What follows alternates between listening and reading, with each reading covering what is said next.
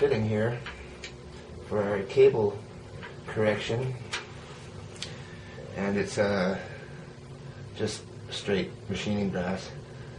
But I offcut the uh, milled groove in it. I didn't use a hacksaw. I just milled it two, two plus millimeters, and I offcut it so that when it enters the actual diameter inside, it is being held in by a lip, and that gives better safety feature for the whole thing. Uh, not that I've ever had a, a break on one of these, but I, I also make the top very heavy, and then also make sure that three quarters of this cable is inside of your brass cup at the top when machining that. So this will fit de- uh, deeply into this, and then you'll turn your access hole to the back or to the inside if you like, but this is near press fit, so it's not going to shift a lot in there. Fits very nicely. It's like a boring small steam engine or something, which I build a lot of, so that kind of thing there. And then that'll sit there, and then you'll have your cable in there. Now, right now we're running into problems because this extension is technically probably too long for the, the actual distance we have to cover. And that means that the bolt that's in here is interfering now with the brake rod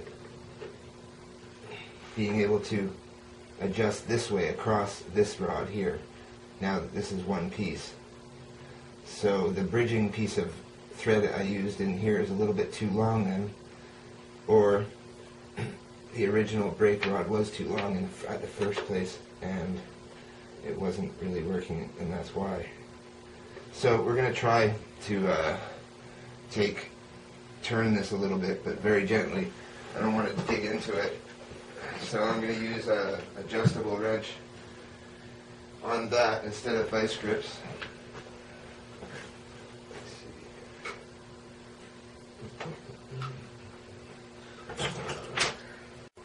Now look what I found in the bolt box.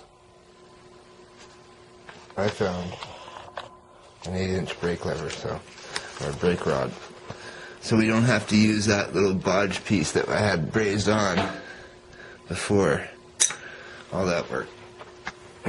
now this is temporary. I want to get a proper 8 inch and get mine back, my spare.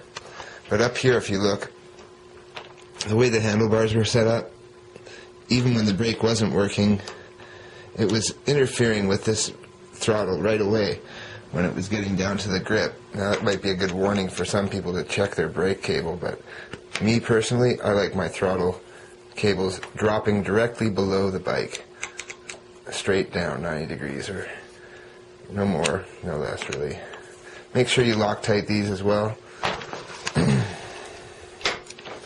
so there we go, we have action. Maybe it could go forward a little bit more as long as it's not interfering with your brake lever operation until this point, the diameter of the actual throttle.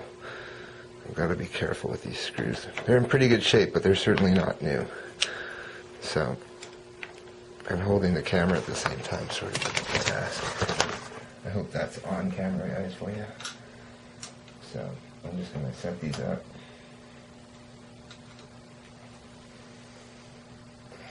applying positive pressure down into the slot of the screwdriver or the screw. A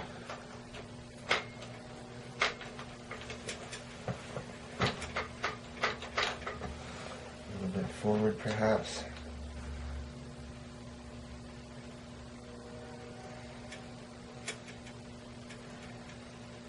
And we'll move the actual brake lever upwards so that you're not ape hanging on it.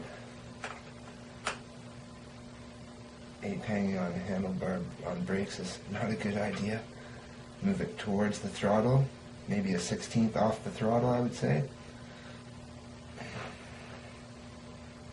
And I cannot bottom that brake now.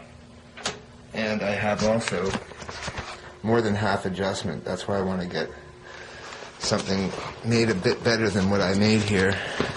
But as you can see, my brass bushing here Move the light back a bit, maybe. See the brass bushing here? I can rotate it in this piece, but the cable's strength holds it because I sort of made it almost a press fit. Now, when the cable's tension is off of it, I can definitely um, rotate it and remove the cable that way. But unless this three quarters of this cap goes out of this end piece here, you're not going to lose your your uh, brass ferrule as well. It would would have to come out of this slot, so you have two failure points where it would have to occur. Now, now it's loose. I can move it, and it's at the back.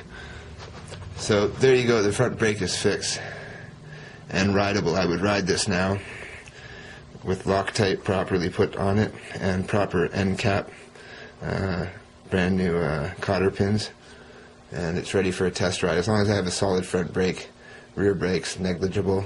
I can get by with a squeaky brake or whatever, but 70% of your braking is up front, 90% of it for some of us, and some of us never touch the rear brakes at all. So, uh, yeah, we're all set, and uh, next stage, I think we're going to be taking the cylinder head off to change the cylinder head gasket, and I'll fix that rear tail light up so that it works for a test ride before we do that, because I'd like to get it into the alley and, and uh, try it out just to see how it feels on the road, whether or not it's stable, or if I can feel the flex, which I probably will be able to feel right away. And then we'll take on the rest of the tasks. But you can see how a job where you roll your bike in to get it running could turn into a extensive amount of work. And anybody who says it's not is just going to do inferior work and cover things up and hide them.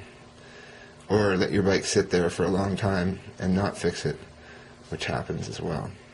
And people have to step up and, and admit that they're not able to do something. And it took me 20 years to even think of doing this for somebody else's bike, let alone my own, which I'd been hacking on for that long. So, and I've never had a failure on the bike to crash. So I've always been careful enough, if it, even if it includes baling wire, better to have something stay on your bike than fall off because you don't want to be uncool and use baling wire. So think about it and, you know, take precautions and have good brakes because brakes are really important, especially on Morgo 750s.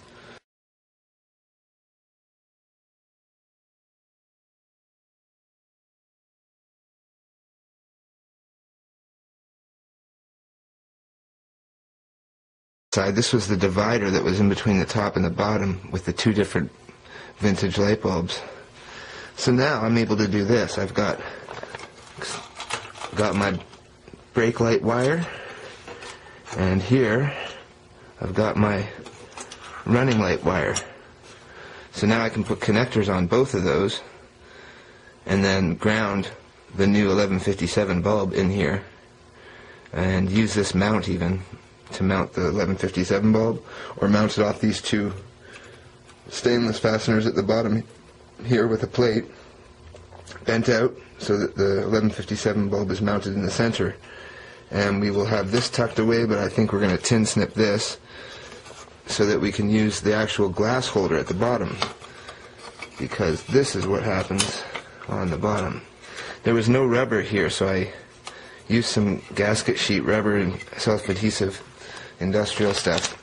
And the friggin' glass is glass, so I put rubber in there and there, and then this will go into that point there with a seal here around the bottom and the back, rubber seal on the sides too. And then we're going to use these clips, these end clips to hold the glass in place on both sides. So we'll cut it off here, basically right there, and then here and we'll put that one back here so that it's holding the glass in place, and that's that's a done deal. The tail light solved, and uh, back to the front wheel. I'm gonna get this together. I gotta get working. And thanks to Linmad for taking the effort to put up some service videos because good refresher for me who hasn't had a 650 in about 10, 12 years, and also excellent for new riders. Even if they're not going to fix their bikes, they'll know what to look for in a mechanic a real mechanic, not a white lab coat mechanic. So there you go, that's a front brake for you. I'd definitely step on this brake. You can see that there's no movement in the brass spacer I've created as well. And the brake rod is working excellently. I can dive these brakes all the way down now, find out if there's an oil leak in them. Right on.